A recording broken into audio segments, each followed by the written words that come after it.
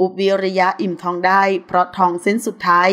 ล่าสุดอุบวิริยะนักปั้นดาราชื่อดังก็ไม่อายทำกิน ขับแกร็บหารายได้เสริม หาค่าอาหารให้น้องหมาน้องแมว โดยงานนี้อุบวิริยะก็ได้โพสต์ระบุข้อความว่า อาชีพเสริม หาค่าอาหารให้น้องแมวครับ และหากใครจำได้ก่อนหน้านี้ ทางด้านของอุบวิริยะ ได้ตัดสินใจนำสมบัติที่พึ่งสุดท้าย ก็คือทองที่ใส่ติดตัวมาทั้งชีวิตออกมาขาย โดยขายทองไปทั้งหมด 40 บาท เพื่อนำเงินที่ได้มาใช้ประทังชีวิตตนเองไปก่อนในช่วงนี้ แต่ดูเหมือนว่างานนี้อุบวิริยะก็ยังจะไม่ดีขึ้นสักเท่าไหร่ เพราะล่าสุดเจ้าตัวได้ออกมาเปิดใจว่า ที่ผ่านมาก็พอมีเงินหมุนบ้าง เพราะเราก็เอาทองไปขายมา 40 บาท แต่ตอนนี้ก็คือหมดแล้วจริง ๆ เลยตัดสินใจแบกหน้าไปขอยืมเงินดาราดังมา 2,000 บาท เขาก็ให้มาทันทีอายมากๆ บอกตรงๆ ไม่เคยยืมเงินใครมาก่อนเลย แต่ตอนนี้มันไม่ไหวจริง ๆ ขอขอบคุณข้อมูลจาก socialnewupdate.com ขอบคุณค่ะ